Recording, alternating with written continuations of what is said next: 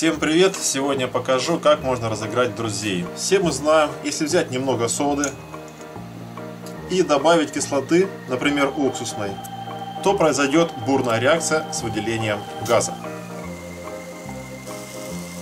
Это все, что нам нужно знать для нашего розыгрыша.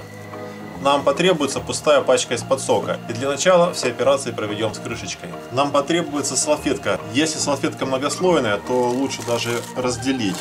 Чем тоньше слой, тем лучше. Нам будет достаточно половины вот этого квадрата, поэтому лишнее мы отрезаем. А из получившейся полоски с помощью маркера, либо любого другого цилиндрического предмета скатываем гильзу причем желательно не многослойную. Вот так вот уже достаточно. Эту гильзу можно э, любым удобным способом закрепить с одной из сторон. Завязать ниткой, заклеить клеем. Я, например, использую просто обыкновенные нейлоновые стяжки. А чтобы гильза не распадалась по своей длине, вот здесь уже потребуются нитки, либо малярный скотч. Наполняем ее содой закрываем с верхней части. Я думаю, что идея вам становится уже вполне понятной, что будет происходить в итоге. Любым удобным способом крепим нашу конфетку под крышку. Вот что получилось у нас в итоге.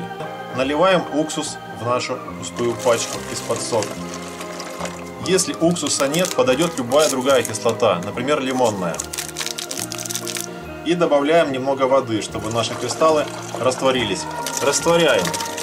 После всех проведенных операций все, что нам требуется, это аккуратно вставить нашу конфетку и закрутить крышку.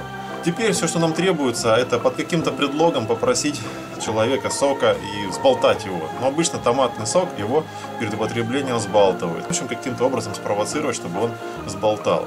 Что произойдет, сейчас увидим. Чуть-чуть не так, как я хотел, но обычно вырывает дно, либо вырывает пробку. Тем не менее, идея вам понятна, можете ее дорабатывать и пробовать.